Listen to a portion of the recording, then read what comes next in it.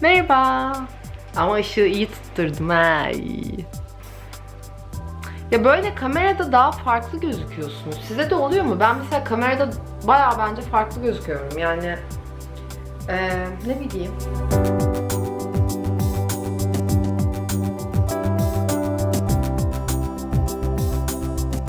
Aloha arkadaşlar. Bugün size bahsetmek istediğim konu beden, bedeninizi mi besliyorsunuz yoksa duygularınızı mı? Bunun üzerine hem biraz düşünelim istiyorum hem de açıkçası ben bu duygusal açlıkla ilgili bir video çekmiştim baya baya zaman önce yani aylar oldu. Ama onda teknik böyle bazı sıkıntılar yaşadık özellikle ışıktan dolayı ve yani %90 yayınlanmayacak gibiydi. O yüzden hani onun üzerinde böyle uğraşmaktansa ben bir daha bu videoyu çekmek istedim. Ve ne zamandır da hani o konu aklımdaydı açıkçası. Yani o konuyu atlamak istemedim çünkü bence çok çok değerli. Bu arada aklımdayken arkam baya boş hani fark ettiyseniz ve gördüyseniz Marmaris'teyim ve burada hani herhangi bir bitki yok bulamadım açıkçası koyacak bir şey. Hani duvarda bir şey asamıyorum zaten öyle çivi falan olmadığı için.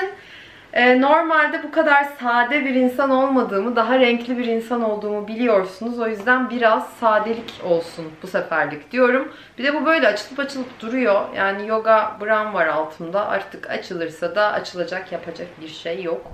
Bedenimizi ya da duygularımızı besleme konusu bana kalırsa kesinlikle annemizle olan ilişkiden başlıyor. Çünkü bu dünyada hani ilk zaten emdiğimiz süt diyeyim annemizin sütü ve ilk yemek olarak e, tattığımızda dolayısıyla annemizin sütü oluyor. Bunu böyle bayağı oluyor. Bir yıllar olmuştur diyeceğim yine. Bir eğitime katılmıştım. Orada da böyle bambaşka konulardan bahsederken alışkanlıklarla ilgili bir eğitimde ama e, böyle genelde çok bağlılık gösteren yani bağımlı derecesi, derecesinde böyle ya bağımlılık aslında gösteren insanlar genelde anneyle e, sorun yaşayabilirler falan demişti. Oradan da benim aklıma bu videoyu hazırlarken çünkü böyle hani her videoya başlamadan önce ben böyle kendimce notlar alıyorum. Aşağı yukarı hani neden bahsedeceğimi bileyim diye. Oradan da şu aklıma geldi. Belki de bizim bu yemekle olan ilişkimiz yani duygularımızı mı besliyoruz yoksa bedenimizi mi? Bu sorunun cevabı biraz da annemizle olan ilişkide de yatıyor olabilir. Ben bunu tabii ki de hani bir psikolog ya da böyle bilir kişi olmadığım için detaylandırmayacağım. Ama hani kafanızda böyle bir soru işareti olsun derim. Çünkü yani belki anne sütünü yeterince almadıysak hayatımız boyunca sonuçta o bize sadece süt vermiyor. Yani annemizin o sıcaklığını hissediyoruz o güven duygusunu hissediyoruz. Belki o sütü emerken hani annemiz bizi tutuyor ve böyle şefkat hissediyoruz. Güvende hissediyoruz kendimizi. Yani orada aslında hissettiğimiz bir sürü duygu hali var. Bir bebek olarak bizim ihtiyacımız olan ve bunları biz yeteri kadar ya da sağlıklı bir şekilde belki ya da belki annemizin yaşadığı sorunlardan dolayı Olabilir yani ben hani detaylı yine bilmiyorum ama atıyorum sütü erken kesilmiştir ya da yeterince süt olmamıştır annemizde gibi gibi. E, bu sebeple bazı noktalar eksik kalabilir. Bu yüzden de şimdi zaten biraz böyle madde madde bahsedeceğim. Ama yani duygusal açlıkta bundan dolayı da kaynaklanan herhangi bir sebep varsa sizin için, sizin hayatınızda buna da bakmanızda belki fayda vardır diye düşünüyorum. Öncelikle bedenimizi doyurma kısmına geleceğim. Yani daha doğrusu bedenimizi mi besliyoruz kısmına. Bir kere bedenimizi gerçekten besliyorsak eğer açlık hissettiğimizde yeriz ve doyduğumuzda da o yediğimiz şey her neyse onu ya yarıda bırakırız ya da bitiririz ve ondan sonra başka bir şey yeme ihtiyacı hissetmeyiz. Bu arada mutlaka bilenleriniz vardır. Zaten midenizin büyüklüğü doğru hatırlıyorsam bir avuç e, büyüklüğündeydi. İki avuç mu diye bir düşündüm ama benim hatırladığım kadarıyla bir avuç büyüklüğündeydi. Ve dolayısıyla da zaten mideniz hani bu kadar yemek yediğinizde doyuyor. Bu ne olursa olsun. O yüzden hani bazılarınız böyle yani küçüklükten itibaren annemiz hani bazılarınızın annesi öyle olabilir işte ya evladım ya evladım diye bizi besledikleri için e, o yeme şekli öyle bir kalıp oluşturuyor ki bizde sanki yersek seviliyoruz ya da yersek gerçekten hani iyi insan oluyoruz ya da annemizin bizden beklentisini yerine getiriyoruz gibi hissettiriyor olabilir. Dolayısıyla aslında normal ve sağlıklı olanı gerçekten doyduğumuz zaman ki o da bu kadar diyorum. Yani bizim böyle büyük büyük porsiyonlar yememize gerek yok. Biraz bu Türk kültüründe de çok vardır. Hani bir yere misafirliğe gittiğimizde böyle bol ikramlar. Tabii ki de misafirperver bir ülke olduğumuzdan da bu kaynaklanıyor. Ama böyle annelerin özellikle çocuk yetiştirmesi çok fazla besleme üzerine oluyor. Benim anneannem mesela ne zaman anneanneme gitsem yani özellikle dediğim gibi anneannem hep beni böyle bir yedirme modunda. Çünkü onun ilgisini ifade etme, gösterme şekli. Bana kalırsa sağlığımıza iyi gelen ve gerçekten doyduğumuzda kalkacağımız şekilde beslenmek ve açlık hissettiğimizde yememiz en önemli noktaları. Bunun yanı sıra bedenle ilgili yani bedeninizi en iyi siz tanıyorsunuz. Burada şeye girmeyeceğim işte günde 3 öğün yemek en doğrusu işte ya da ne bileyim 2 öğün yemeli ya da bir öğün yemek bunları burada girmeyeceğim ya da saatlerine.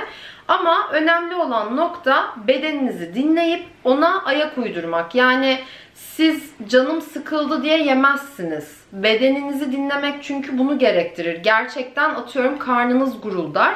Hatta karnınızın guruldamasına ihtiyaç bile duymadan böyle hafif bir açlık hissettiğinizde yersiniz.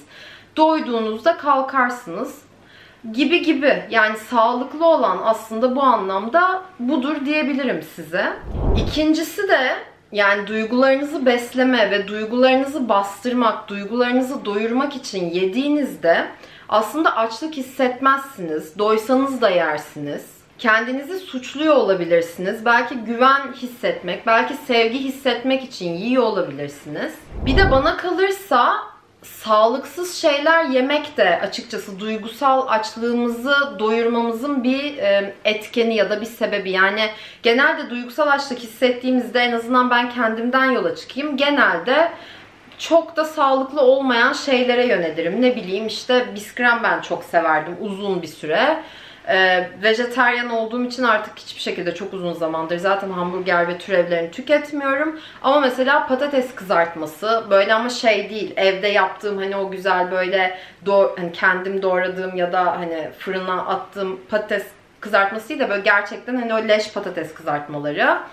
Ne bileyim böyle cipsler falan yani sağlığımıza iyi gelmeyeceğini bildiğimiz ama buna rağmen tükettiğimiz şeyler aslında belki de bir yerde bizim duygusal açlığımıza hitap eden bir e, beslenme şekli olabilir diyeyim. Burada hani bunu neden özellikle ele alıyorum ve ikisi neden bana göre çok değerli ve kıymetli? Çünkü bedensel beslenme tamamen sağlıklı ve bize iyi gelen aslında bir beslenme şekli. Ama duygusal açlık hissetmek tamamen aslında psikolojik bir beslenme şekli. Yani biz işte sevgi ihtiyacımızı, güven ihtiyacımızı, şefkat ihtiyacımızı, belki sevgilimiz yok ve gerçekten hani hayatımızda bir hayat arkadaşı, bir sevgili, bir eş istiyoruz ya da belki yeterli dostluğa sahip değiliz hayatımızda. Dostlarımız eksik. Bunu bastırmak ve bunu doyurmak için yiyor olabiliriz.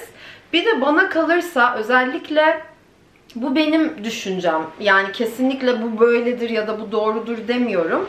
Ama erkeklerin sanki bu konuda bir tık daha fazla olduğunu nedense hissediyorum şu açıdan.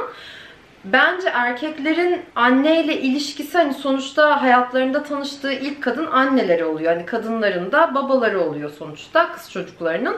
Dolayısıyla hani özellikle erkekler e, o ilgiyi, şefkati, hani o anne sütünü alamadılarsa, annelerinden o ilgiyi göremedilerse, o beslenmeyi alamadılarsa yani böyle bir bağımlılığa kayabiliyorlar. Tabii ki bu kadınlarda da öyle ama erkeklerde genelde zaten o eğitimde de hani en başta bahsettiğim bir eğitime katıldım dediğim bir e, yer vardı.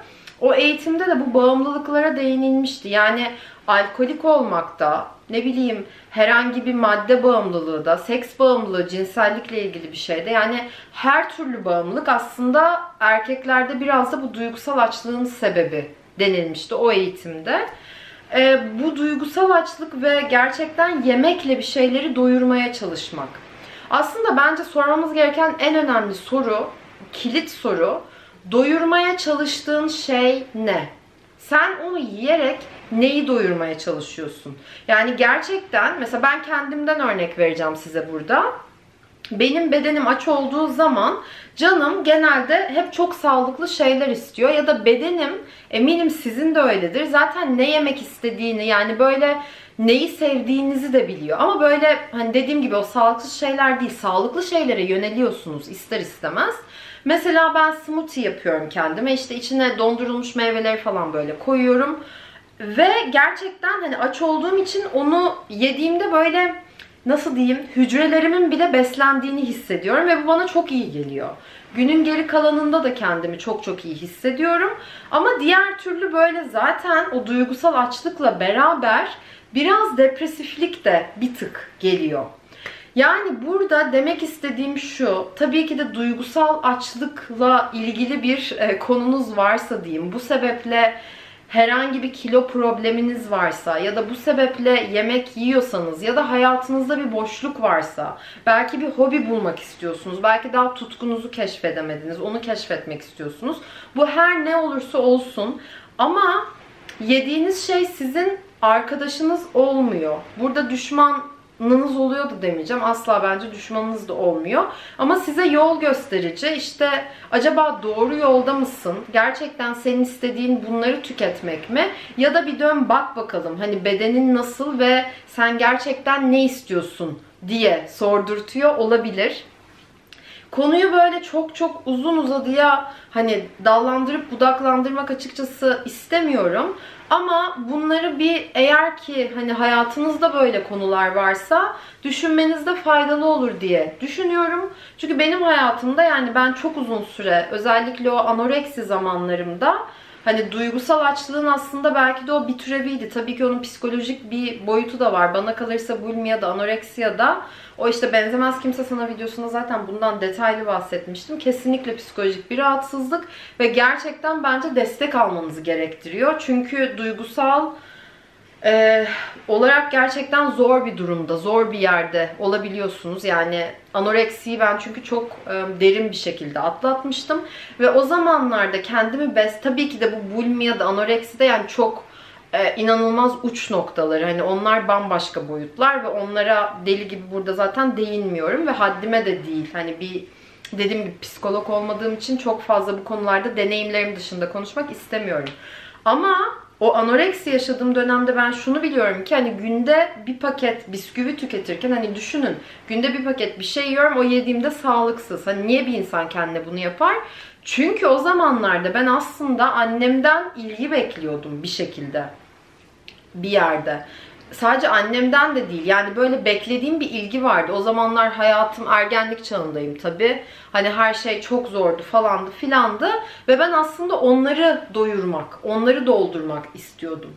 Dolayısıyla duygusal açlık konusu bu anoreksiyaya, bulmaya göre çok daha hafif. Ama en azından neyi doyurmaya çalışıyoruz bir ona bakmamızda kesinlikle fayda var. Mesela gecenin bir köründe işte ne bileyim çikolata yeme isteğiniz geliyor. Bu haftada bir ise iki ise sıkıntı yok. Ama gecenin yani her hafta 3 ya da 4 kere bunu yapıyorsanız ya da bir anda inanılmaz fazla yemek yiyip sonra kendinizi suçluyorsanız zaten bunun duygusal açlıktan kaynaklanıp kaynaklanmadığını da bulabilirsiniz. Bir de şöyle bir noktası daha var bence arkadaşlar. Hani ben mesela bayağı cesur bir tipim ve insan hani herkesi kendi gibi zannedebiliyor. Bu da bence büyük bir yanılgı aslında. Asla böyle işte o kişi cesur değil neden öyle falan demiyorum ama şöyle de bir noktası var. Hani ben fazla gözlemci olan bir insanım. Herkes böyle gözlemci olmak zorunda değil ama en azından bir nokta varsa hayatınızda bu yiyeceklerle ilişkiniz anlamında belki sizin hayatınızda da bazı şeyler yolunda gitmiyor olabilir. Ve bu yolunda gitmeyen ne? Hani esas kilit noktalarından biri bu bu yemekle ilgili ilişkinize bakmanın da yanı sıra bir şöyle hayatınıza bakın. Aile ilişkilerinize bakın, iş arkadaşlarınıza bakın, arkadaşlarınıza, dostlarınıza bakın. Belki eşinizle, sevgilinizle olan ilişkinize bakın. Kendinizle olan ilişkinize bakın. Kendinize karşı nasıl davrandığınıza bir bakın. Ona göre de zaten siz eminim en doğru yolu ve en doğru kararı vereceksinizdir. Bu video biraz böyle fazla sıcaklı. Gerçekten burası çok sıcak. Bir de fazla sade oldu. Ama ne yapacağımı bilemedim yani. böyle laf olsun diye arkaya bir şey koymak istemedim. Bir de gerçekten şortum çok tatlı. Keşke hep şortumu görebilseydiniz. Size bir göstermek istiyorum. Abes duracak olabilir ama şöyle bakar mısınız? Şey gibi oldu bu. Şortumu bilmem nereden aldım ama böyle gerçekten çok sevdiğim bir şortum. Keşke onu da böyle göstere göstere renkli renkli çekebilseydim ama yapacak bir şey yok. Böyle işte. Kocaman mahalo diyorum. İyi ki varsınız, iyi ki bu videoyu izlediniz ve gerçekten çok çok teşekkür ediyorum beni desteklediğiniz için. Onun yanı sıra bu videoyu beğendiyseniz beğenmeyi... Ay sinek. Onun yanı sıra bu videoyu beğendiyseniz, beğenmeyi, abone değilseniz ve beni sevdiyseniz, desteklemek isterseniz abone olup bildirim zilini açmayı unutmazsanız gerçekten çok müteşekkir olurum. Bu arada sizin yorumlarınızı da çok merak ediyorum. Siz bedeninizi mi besliyorsunuz yoksa duygularınızı mı? Duygularınızı beslerken ilişkiniz nasıl? Yani şunu da söylemem gerekiyor duyguları beslemek için yani işte dediğim gibi güven duygusunu beslemek için yiyorum daha çok sevgi hissetmek için yiyorum. Çünkü o anne sütünü emerken aslında biz yine dönüp dolaşıp oraya geleceğim. Çok güven içindeydik. Çok seviliyorduk. Yani biri bizi böyle pışpışlıyordu ve orası korunaklı alandı. Bunu şey gibi düşünün. Hani böyle Cen'in pozisyonu vardır ya. Öyle yaptığımızda hep şey derler. Ben de kesinlikle inanıyorum. Kendimizi en güvende ve en rahat hissettiğimiz poz annemizin karnındaki o Cen'in pozisyonu. Bana kalırsa yemekle olan ilişkimiz de eğer ki duygusal anlamda bir e, sıkıntı diyeyim tırnak içinde varsa o da buna dayanıyor. Çünkü o anne sütünü emerkenki hissi aslında bir yerde arıyor olabiliriz. Zaten belli bir yaşa kadar parmak emmek de öyle bana kalırsa. Böyle arkadaşlar. Birazcık daha bahsetmiş oldum ama artık videoyu kapatayım. Haftaya bambaşka bir videoda görüşmek üzere. Sevgiyle, neşeyle, sağlıkla, coşkuyla kalın. Hoşçakalın. Tipim iyi galiba.